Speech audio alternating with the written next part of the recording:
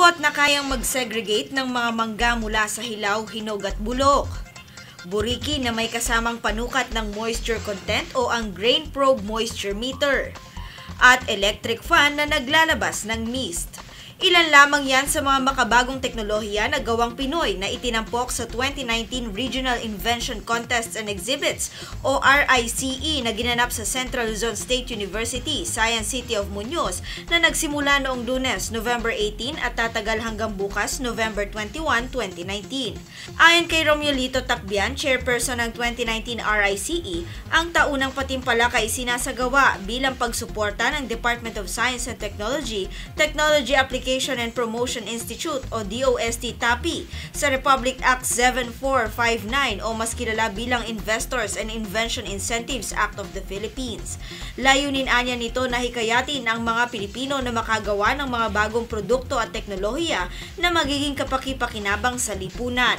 This is to encourage yung ating mga inventors and even our students ano, to uh, invent, ano, to generate technologies. Ayan. So this is uh, to encourage them to produce uh, researches and improve yung researches into products that will help uh, the people, no? Kaya sabi nila, science for the people, inventry Pinoy.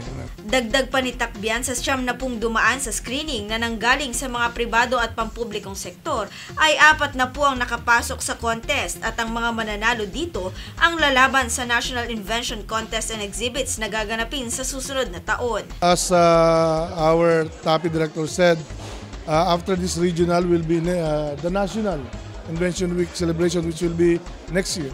Kasabay din ng patimpalak ay pinagdiwang ang 26th National Investors Week na pinangunahan ng DOST Central Luzon, katuwang ang Philippine Investor Society at Filipino Investor Society Producers Cooperative o FISPC.